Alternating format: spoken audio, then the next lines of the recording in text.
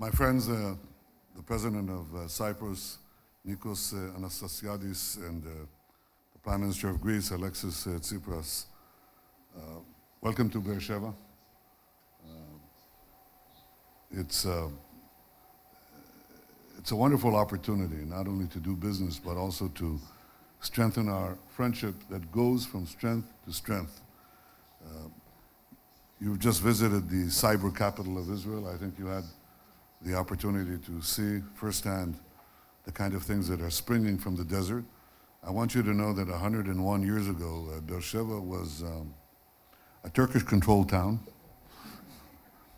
seven wells, a few palm trees, a lot of camels, and you can see the enormous difference. Uh, people, especially young people here, are seizing the future.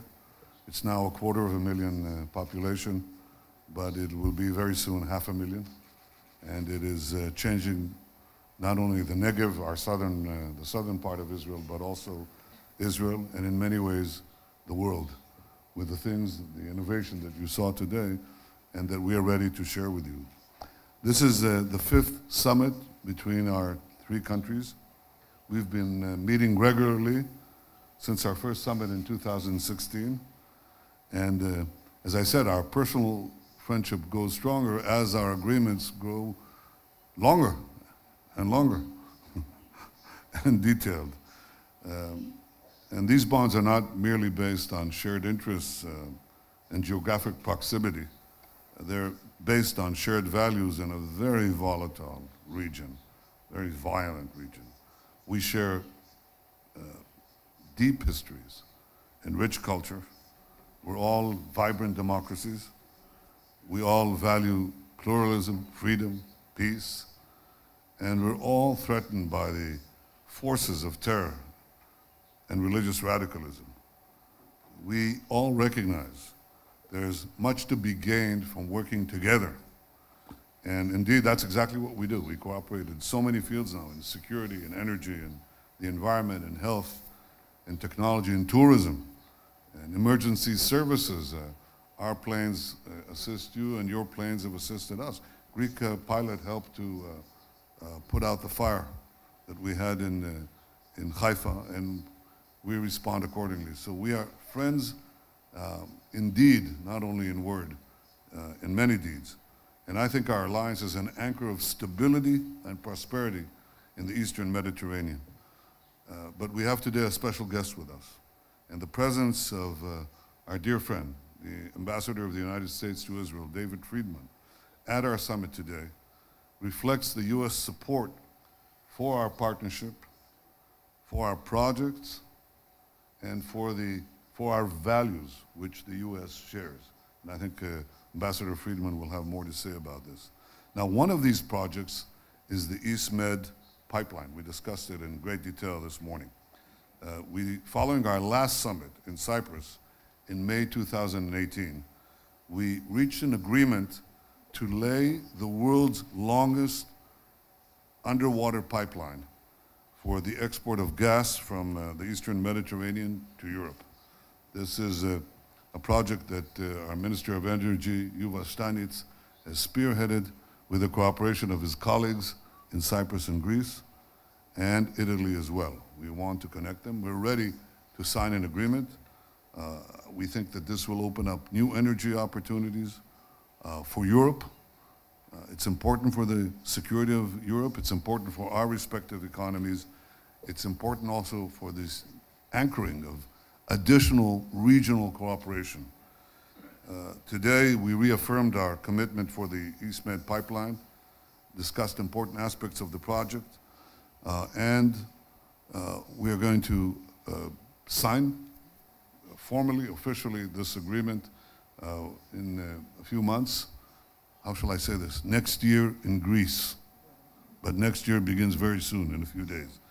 And as we speak to build prosperity, a pipeline for prosperity, uh, there are forces in our region that seek to build tunnels for terror.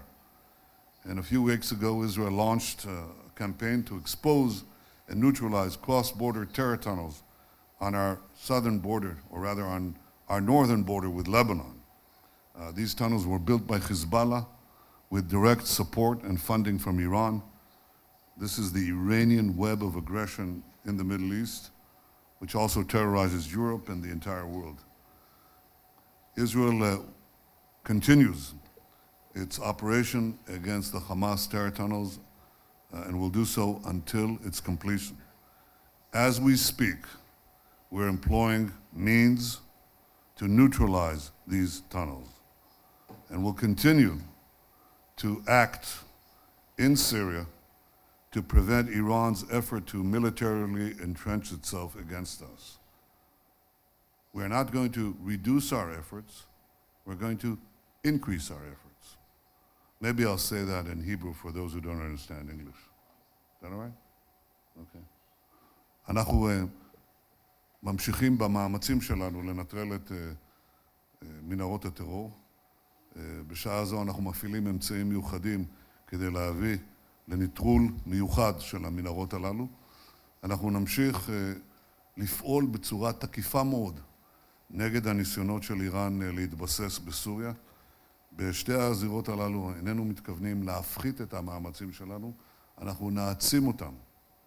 ואני יודע שאנחנו עושים זאת בתמיכה ובגיבוי מלא של ארצות הברית.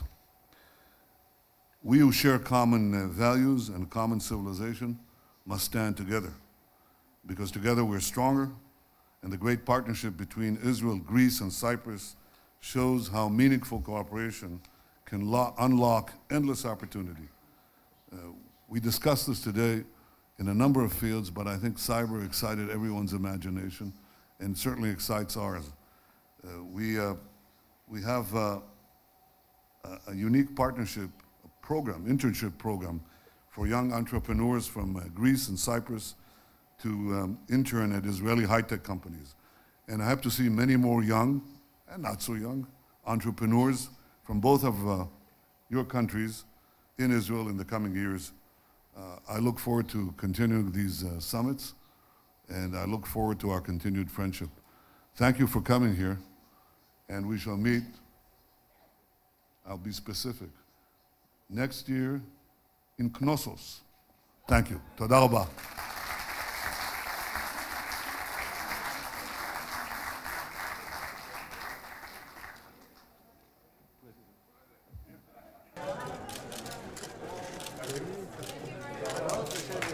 Thank you very much, ladies and gentlemen.